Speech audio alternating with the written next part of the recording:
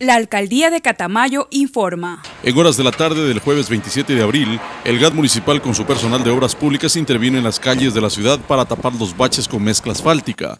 El ingeniero José Cango, director de obras públicas, señaló que dicho trabajo no se lo pudo realizar a inicios de la presente semana debido a la presencia de lluvias y por daños en la planta asfáltica de la compañía que se había comprometido con la entrega del asfalto. Más bien este asfalto que lo estamos este, hoy día utilizando es que nos proveyó el Ministerio de Obras Públicas. Es una mezcla en frío que se la hizo para poder cumplir con el asunto del, del bacheo. La cantidad de asfalto conseguido servirá para intervenir tres calles por el momento. La avenida Catamayo, Juan Montalvo y Sucre.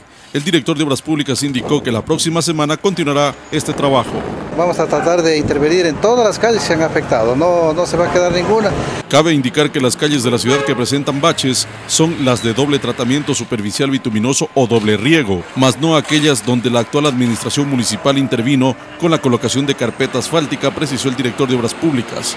Por ende dijo que la autoridad municipal planifica el recapeo de estas vías. Eso no ocurre con el recapeo que se hizo en, la, en esta administración de la señora alcaldesa, porque es un asfalto nuevo, carpeta de 5 centímetros de espesor, y eso pues, este, está, recién hecho, tiene alrededor de dos años, y prácticamente ahí tendremos una vida útil de, ese, de ese asfalto, siquiera de mínimo de unos 8 a 10 años. Ahora los conductores ya no tendrán tantos problemas con sus vehículos al momento de circular por las calles que han sido intervenidas por el GAT municipal de Catamayo.